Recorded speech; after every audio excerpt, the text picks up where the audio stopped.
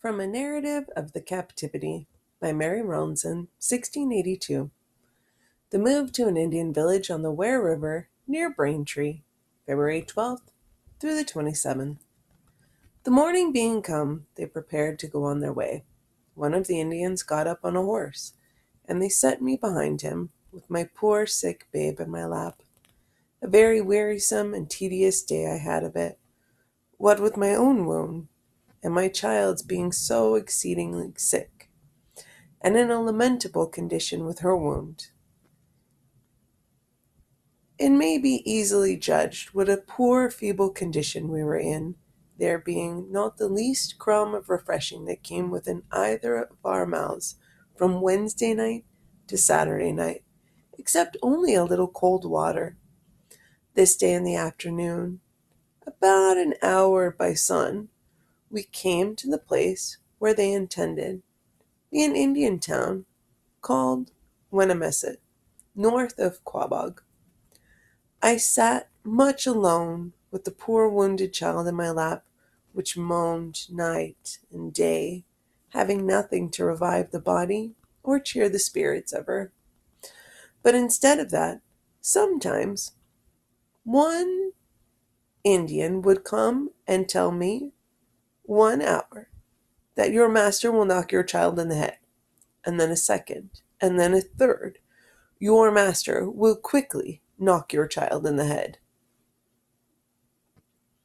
This was the comfort I had from them. Miserable comforters are we all, as he said. Thus nine days I sat upon my knees with my babe in my lap, till my flesh was raw again, my child being eh, even ready to depart this sorrowful world. They bade me carry it out another wigwam, I suppose, because they would not be troubled with such spectacles. Whither I went with a very heavy heart, and sat, and down I sat, with a picture of death in my lap.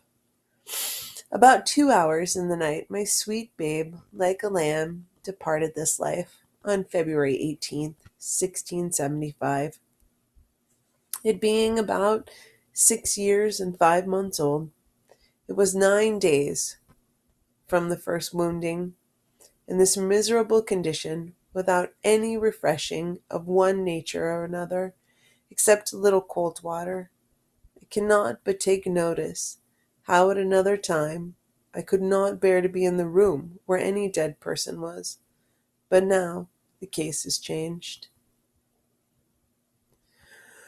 I must and could lie down by my dead babe, side by side, all the night after.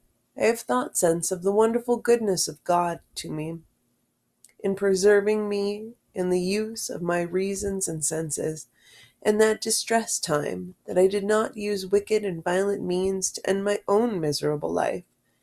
In the morning, when they understood that my child was dead, they send for me home to my master's wigwam.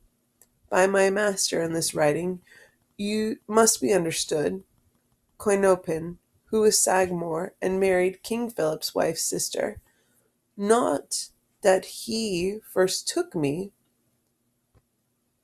but I was sold to him by another Narragansett Indian who took me when I first came out of the garrison. I went to take up my dead child in my arms to carry it with me, but they bid me let it alone. There was no resisting. But go I must and leave it. When I had been in my master's wigwam, I took the first opportunity I could get to look back after my dead child. When I came, I asked them what they had done with it, and they told me it was upon the hill. Then they went and showed me where it was where I saw the ground was newly digged. They told me they had buried it.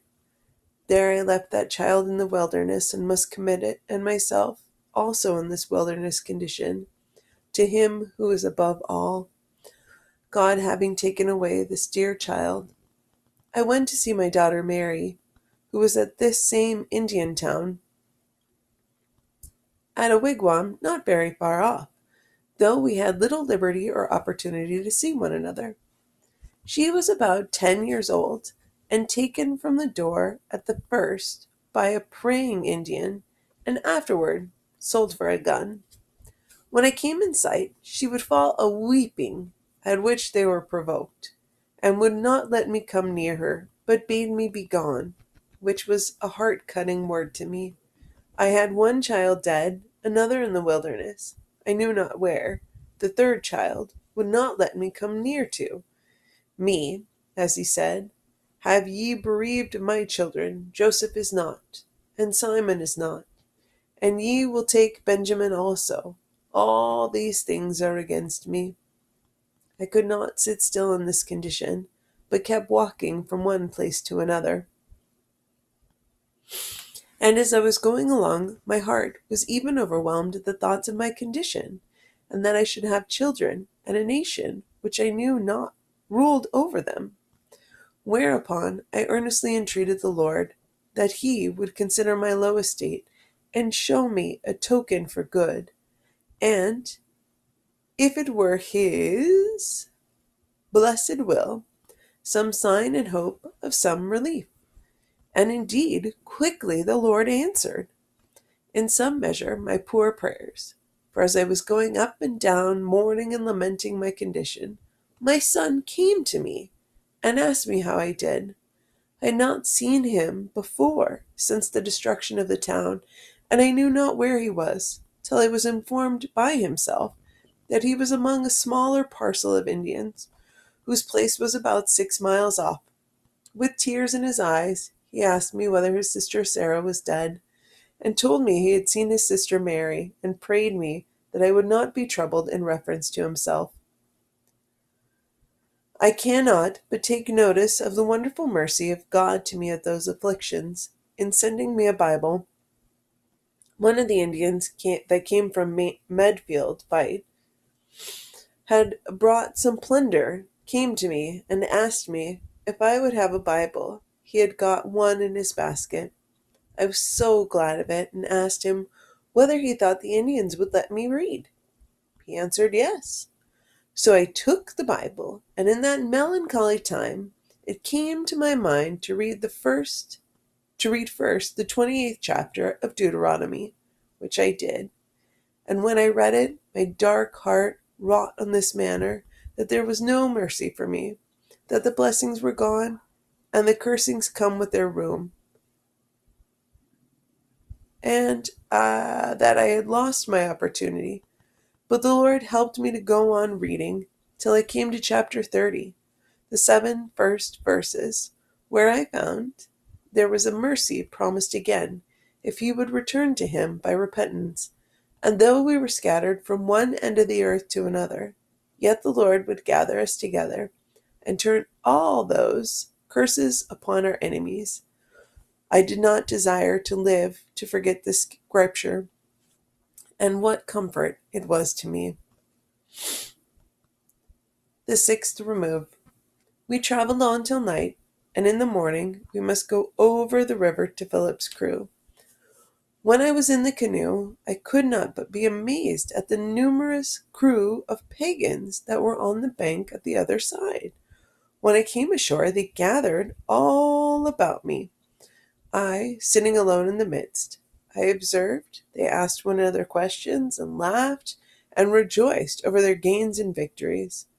Then my heart began to fail, and I fell a weeping, which was the first time to my remembrance that I wept before them. Although I had met with so much affliction, and my heart was many times ready to break, yet I could not shed one tear in their sight but rather had been all this while in a maze, and like one astonished. But now I may say, as in Psalm 137 1, by the rivers of Babylon, there we sat down, yea, when we wept, we wept when we remembered Zion. There one of them asked me why I wept. I could hardly tell what to say. Yet I answered, They would kill me. No, said he, none will hurt you. Then came one of them, gave me two spoonfuls of meal to comfort me, and another a half a pint of peas, which was more worth than many bushels at another time. Then I went to see King Philip. He bade me come and sit down, and he asked me whether I would smoke. A usual compliment nowadays amongst saints and sinners, but this was no way suited to me. For though I had formerly used tobacco, yet I had left it ever since I was first taken. It seems to be a bait. The devil lays to make men lose their precious time. I remember with shame how formerly, when I had taken two or three pipes, I was presently ready for another. Such a bewitching thing it is. But I thank God he has now given me power over it. Surely there are many who be better employed than to lie sucking a stinking tobacco pipe. Now, the Indians gather their forces to go against Northampton. Overnight, one went about yelling and hooting to give notice of the design, whereupon they fell to boiling of ground nuts and parching of corn, as many had it, for their provision. And in the morning away they went. During my abode in this place, Philip spoke to me to make a shirt for his boy, which I did, for which they gave me a shilling. I offered the money to my master, but he bade me keep it, and with it I bought a piece of horse flesh.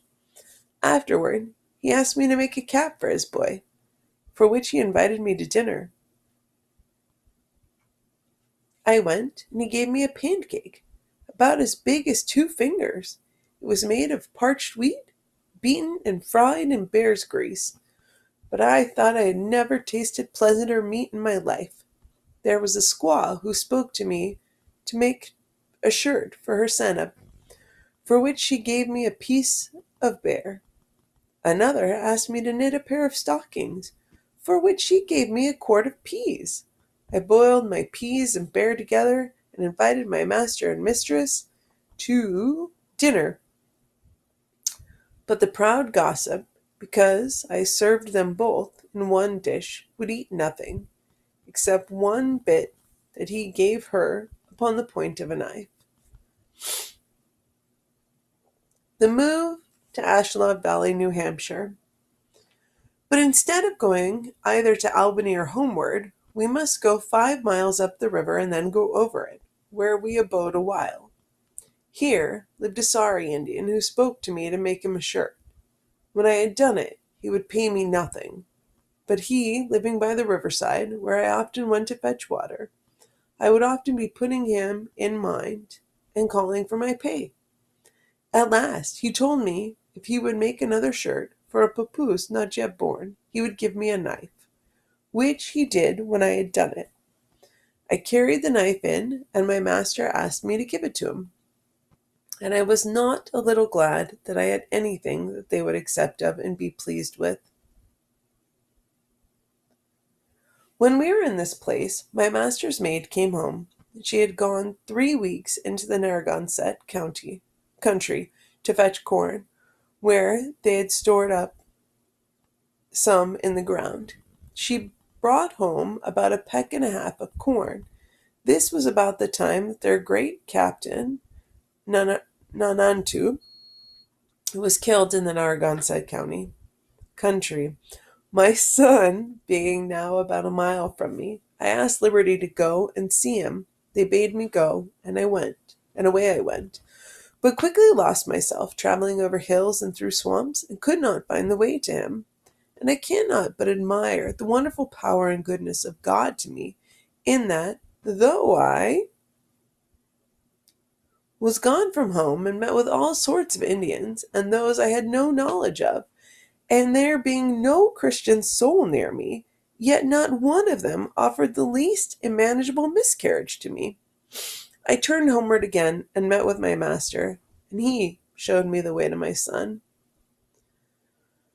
But I was fain to go and look after something to satisfy my hunger, and going among the wigwams, I went into one and there found a squaw who showed herself very kind to me and gave me a piece of bear. I put it into my pocket and came home. But could not find an opportunity to broil it, for fear they would get it from me. And there I lay all that day and night in my stinking pocket. In the morning, I went to the same squaw who had a kettle of groundnuts boiling, and I asked her to let me boil my piece of bear in her kettle, which she did, and gave me some groundnuts to eat with it. And I cannot but think how pleasant it was to me. I have sometimes seen bear baked very handsomely among the English, and some like it, but the thought that it was a bear made me tremble. But now that was savory to me, that one would think was enough to turn the stomach of a brute creature.